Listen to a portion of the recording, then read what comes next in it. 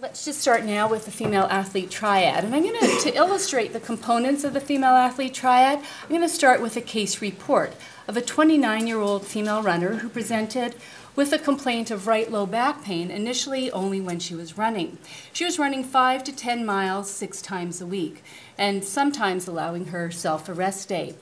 She had no radicular symptoms, Menstrual history is something I also will gather in terms of my history taking. She had had no menses for six months. She has never had a pregnancy. On physical examination, her height was 5 feet 4 inches and weighed 105 pounds, which gives her a body mass index, which is a measure of body fat in relation to height and weight of 18. And that's low. That anything less than 18.5 is underweight. Normal is 18.5 to 24.9. She had some tenderness on palpation over the right SI joint, and x-rays of the pelvis and the lumbar spine were normal. So on to MRI, which you can see showing us the increased pickup and signal in the right area here, depicting a stress fracture of the sacrum. So let's go further now to our definition of the female athlete triad, which is a syndrome as they first labeled it, which was labeled in 1992 as being recognized to exist. The definition was then subsequently changed in 2007, hence the different definitions of the point of the triangle here. Initially, we looked at eating disorders. That then changed to disordered eating rather than having the full blown anorexia or bulimia. Now we're looking at low energy availability, which, as you can imagine, when you're speaking to one of these athletes, who has or exhibits traits of the female athlete triad are usually more receptive to accepting this. Then we look at another triangle point here, looking at amenorrhea, loss of periods, or going on to menstrual dysfunction. Once again, maybe not having the full blown picture. And then the other corner of the triangle is osteoporosis, which has then changed the definition to osteopenia, which is once again, loss of bone mass, but not quite as severe, changes in the skeletal system, and now we're using the definition of low bone mass.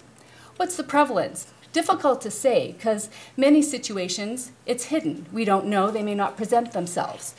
The full triad is felt to be anywhere between 1.2 to 4.3%. Nichols and Bales and their group did this study for the IOC Commission. A single component, such as disordered eating, may be up to 70%, but it depends on the sport and once again depends on recognition and reporting. Looking at the prevalence of the eating disorders, you can see in the green box on your far left where the non-athlete is. And certainly you can see for the sports, as expected in endurance sports, aesthetic sports, how the prevalence is much greater. The disordered eating and fat, which is not a great acronym for this uh, syndrome, and we are gearing away from that to just calling it the triad. Eating disorder behavior can exist on a continuum. It can be anywhere from skipping meals to using diet pills, diuretics, could be inducing vomiting, laxatives, to the full blown situation of a titled eating disorder of anorexia or bulimia. So that's why it's sometimes hard to actually depict. The hallmark is usually a disordered body image. As you can see in the picture, that's what the individual sees when they look in the mirror. Up to 62% of college athletes practice some form of pathological weight control behavior.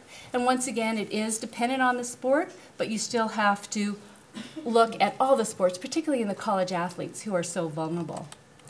This is a busy slide, but just to show you how complicated it can be with health consequences. There are various systems that can be affected, but I'm going to concentrate on that triangle that we see right on the side here, looking at the musculoskeletal system and the reproductive system. That's our triad. When one doesn't have enough calories, I think we all know we'll get tired, we will get grumpy or irritable, but this seems to be depicted on a regular basis in these individuals. They may present with fatigue and then they come in to see us just complaining of just feeling tired. Other people living with them may find they're quite irritable, they're hungry, they have difficulty concentrating, particularly in those who are at school or even at work. One can find that that's happening. Frequent injuries is often what has them present to us. And there are they returners, so, you know, another stress fracture or another sprain or strain. They may find that their athletic performance is down. They're putting in the same effort but not getting the same result. And that's what they're concerned about. And that's when they listen to you about the low energy availability, I find. In adolescence, there may be some growth failure. I think we've all seen that in Olympic athletes. Once they start, stop competing rather, such in, in gymnasts, you see a change in their body habitus. Weight loss, of course, and menstrual irregularities. Amenorrhea, looking at the A certainly looking at the menstrual irregularities, is defined as an absence of menstrual periods of three months or less than three cycles per year. So that's often a question we ask. Have you had less than six menses in a year? And those are the red lights that go flashing. Divided into two separate areas of amenorrhea is the primary amenorrhea, which is an individual has never had a period. Certainly we will look at the up until the age of 17 if they haven't had a period, then certainly looking at investigations. Secondary amenorrhea, individual had a period and may have had several periods and then stops menstruating for that period of time. The prevalence is felt to be anywhere from 2 to 5% in the general population, and you see that wide swing in the female athletes from 1 to 44%.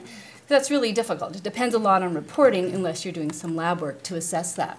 But always remember to rule out pregnancy because that also happens in athletes who think that no, it couldn't happen. So you must rule that out. There are health, health consequences to the decreased estrogen and the change in the ratio of the estrogen and progesterone because of the amenorrhea. Infertility, and there's decreased bone mass, which can lead to the osteoporosis.